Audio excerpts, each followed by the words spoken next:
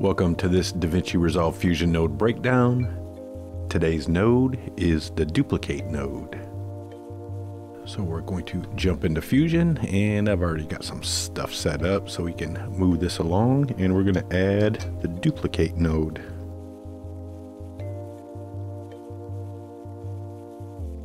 And all this node really does is it duplicates stuff. So hence the name. Now up here you've got uh, how many copies you want to make. So right now it's just set on two. And this node is time based. So it's not really going to automatically make your copies. So if I put in 10, nothing's going to happen. So even if I hit play, nothing's going to happen yet. To be able to start seeing your duplicates, you need to change this time offset and it's by frame but it's a little confusing. So if, say, I want it just to be time offset by one frame, nothing's going to happen at all. And if I do it by minus one frame, nothing's going to happen at all. So in order for any of this stuff to actually start working, we need to change where our duplicates show up. So we have our center, which changes our actual location of our duplicates. You've got your x-axis and your y-axis, so you can change your center. And you can also change your pivot. And if you look in here, there's a little X. And this changes your actual pivot of your duplicates. So if we change this, it'll change our pivot. So going back to the time, now if you see we have at negative one, it's gonna come in as we go up in frames. If we set it at one, it's gonna be there and go out at the end. So you see it's a little confusing. So you have to work with your time to get your timing right. So, but we're just gonna move this to minus one and we'll leave that on 10 and let's see what's going on. So like I said, you can change your center. So once you start uh, making changes, you're gonna have to continuously move this around to get your duplicates exactly where you want them. Here you can change the size and this will change the actual size of the duplicates. And you can tell it goes from big to small. If we go down, in from small to big if we go up. So we're going to bring that down. And your angle is your actual angle of the overall duplicates. So we can actually go to the beginning and keyframe this, go to the end, and we'll make that 365.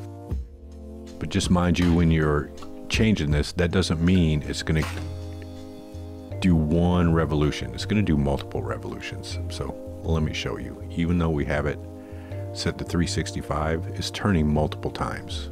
That just means your overall plate, which is surrounded by this green, is changing 365 degrees. So, and once you start making more changes, again, we can change this up to where your uh, duplicates are actually showing up. And down here you have your uh, typical apply modes. You have your typical operator modes and your subtractive and additive for those operators. Under the gain portion, we can change the color gains. So if we start bringing down that red, you can see we're removing red we bring down the greens, we'll bring down the greens. So we kind of have a nice color fade going on. And you can do the same with your blues and your alpha. Under the blur tab, we can add how much blur is happening over those duplicates. And you can see our last duplicate is getting blurred more up to our last one. You can also add glows and blur to go on. You can start glowing that out. And you've got your blend and your red scale, blue scale, green scale, and your alpha scale for the blur. And down here we also have burn in. Now, what this is doing is, let me get a, some some things going on top of each other. And if I change my burn in, you can see it's actually doing kind of a uh, color burn on top of the letters and on top of each other where they're crossing. That's what the burn in is. So if you need that to burn in, you can up it or get rid of it. And then this, of course, is your blend button to blend how much over time it's blending.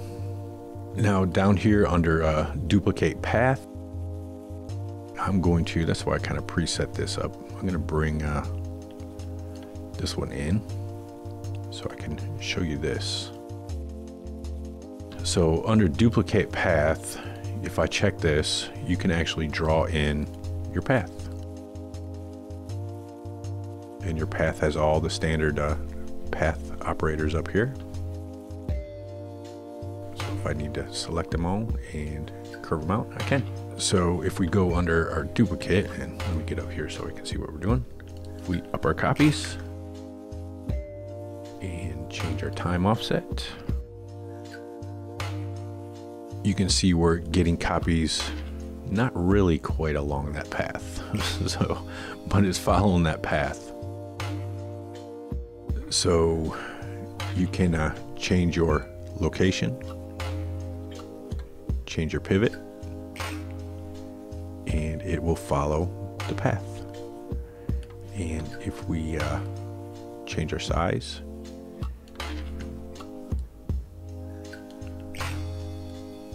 we can get it to follow along the path. And let me get uh, 20. There we go. More. So down here, you've also got displacement, uh, scale and displacement offset. And this is where you can kind of do some kind of cool animation, I guess. Um, I never really played with it, but it looks like it can be pretty cool. So you can uh, animate your displacement scale and your displacement offset and get some uh, pretty cool effects. So let's reconnect our text here. Now, this input, just so you know, will take anything. So whether it's a shape, a text, uh, other actual footage, you can input it into this duplicate. So we've got our duplicate going. And you can do, uh, we could always add, say, a trail. Trail node.